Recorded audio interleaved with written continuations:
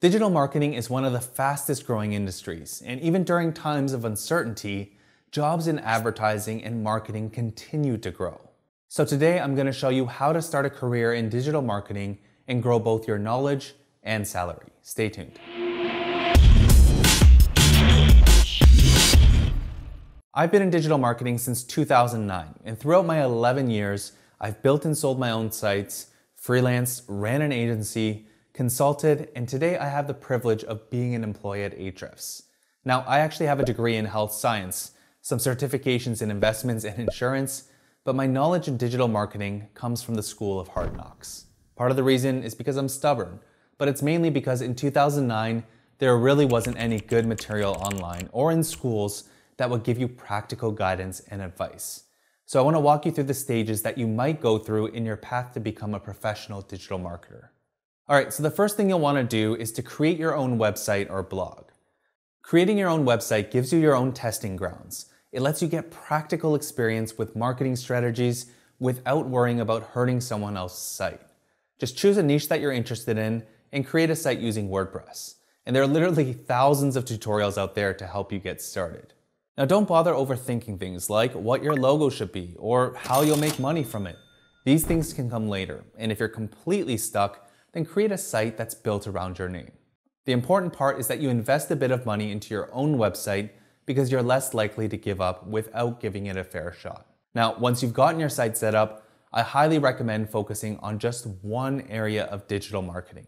Let's go through the pros and cons of a couple popular online marketing strategies.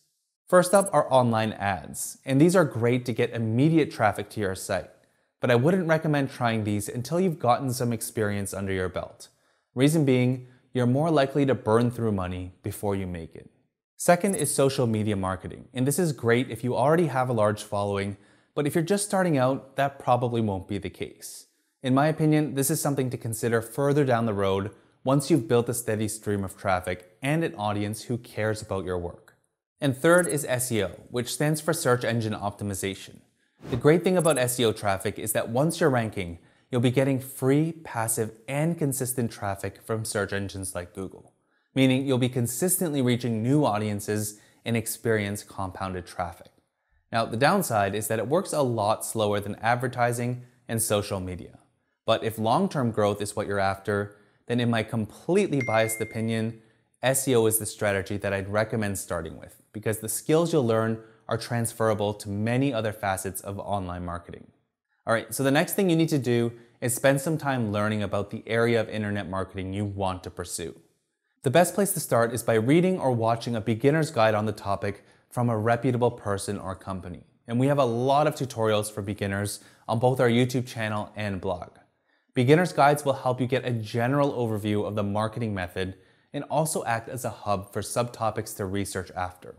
For example, in our SEO for Beginners video, I talk about how SEO works then go on to talk about things like keyword research, on page SEO, link building, and technical SEO. And while much of the content is basic, you can use those as pivot points to go and research those subtopics in further detail. All right, the next and most important part is to actually execute on the things you learn.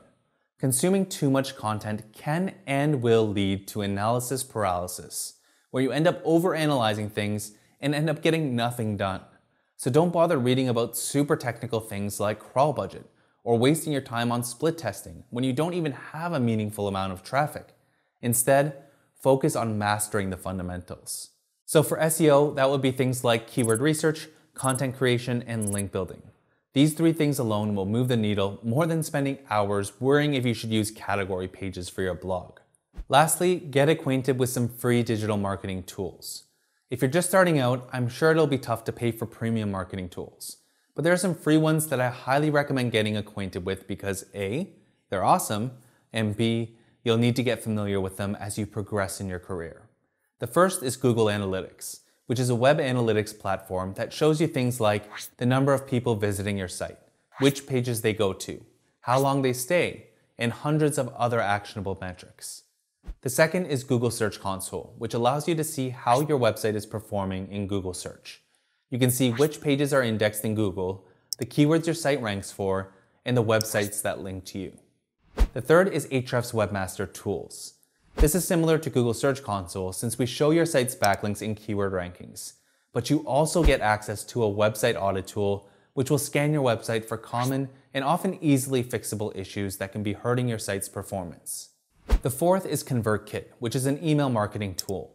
Their free plan lets you manage up to a thousand subscribers and is super easy to use. I strongly recommend building an email list right from the start. Think about it like this. If you're not giving visitors an option to subscribe, then you could be missing out on opportunities to grow an audience who wants to get updates from you. Now, whether you're a student or you're in another job, starting your own site is something you can do on the side. It's going to give you exposure to digital marketing and it's going to prepare you for the next stage, which is to get a job or internship at a digital marketing agency. Getting a job today is different than it was 10 years ago. Before you had to have a degree in marketing, business, or whatever in order to even qualify. But from my experience, tons of digital marketing agencies are more interested in hiring creative people who have produced results. Working at an agency is a great way to learn digital marketing fast because you'll have the opportunity to work with people who are ahead of you in your career. It's also a place you can find mentors, and you'll also get a ton of hands on experience working on various types of client sites. Work your way up to a more senior position. Learn from people in your company. And if your goal is to become independent, then learn how agencies and businesses are run. And this will happen naturally as you speak with clients as well as senior level management. Now, it's important to note that you shouldn't necessarily give up on your other sites. A lot of good companies will actually encourage you to spend time on your side projects to improve your craft. These are usually the types of people you want to work for because they'll challenge you to become masters of your work. All right, next up is to consider freelancing. Freelancing is a great way to get more hands on experience while increasing your income. And if by now you're three plus years into your digital marketing career, and there's a good chance you already have some freelance work lined up for you. Now, the two great things about freelancing after you've gotten a job are A, you'll have more experience to do good work for clients, and B, you'll still have a steady salary to pay the bills. Now, if you aren't getting referrals or inbound requests for work, then you can sign up for general sites like Upwork or People Per Hour and apply for jobs where you think you can do a great job and these jobs will help you build up your personal portfolio. Now, if you've chosen something more specialized like copywriting or blogging, then I'd spend time picking up side gigs at ProBlogger jobs or other places that attract a specific audience. After you've built up a portfolio and somewhat of a positive reputation in your industry, you can consider going full time into consulting. And the keyword here is consider. There's nothing wrong with staying in your job, working your way up, and retiring. Not everyone is meant to be a consultant, and to be frank, not everyone should be. But for those who have really mastered their craft and want to maximize their earnings potential, they'll generally go on to do one of two things. Number one, they'll start their own agency, and this requires hiring a team and usually involves doing both the strategy and execution. Now, one of the great things about agency work is that you can work with a lot of clients at the same time, since you'll have teams to manage client accounts. You're also able to provide more services since your team will likely be diversified. And being a one stop shop allows you to maximize your earnings potential on upsells. One downside is that it can be quite costly since you're dealing with salaries and potentially office space. The second route is to do independent consulting. From my experience, this has a far better net margin and hourly rates often range from hundreds to thousands of dollars. The downside is that you'll usually be limited in the number of clients you can take. Businesses often hire consultants who specialize in an area to solve higher level business problems. So they might just want strategy, or just training, or just execution. And although you may have a smaller team to handle the more systematized parts of your business, clients will be hiring you for your expertise. So naturally, you'll be limited to the number of clients you can take simultaneously. Now, regardless if you go the agency or consulting route, networks will be critical to your success. And this is why all of the other steps are important to go through. When you create a website, you learn and get practical experience with digital marketing strategies. When you get a job, you learn from those who are ahead of you. When you freelance, you get a feel for what it's like to actually run projects on your own. And as you're creating your personal brand, this helps in developing your network as well as authority in your niche. Two other avenues to consider at this stage are to speak at events where your clients might be and to do a push with inbound marketing. Speaking engagements are usually unpaid, but if the room is full of your target audience and you have 30 to 60 minutes to show off your expertise, then it can be an extremely lucrative trip. For example, I spoke at a conference with a primary audience of decision makers, and a lot of these people worked at startups with funding. And after my talk was done, I had three people approach me for consulting work. As for inbound marketing, that's what we do at Ahrefs. We write and produce videos about problems that our target audience might face. And even though we don't have sales pitches in our content, there's no shortage of requests for consultations. So, no matter where you are in your career, it's not too late to start in digital marketing.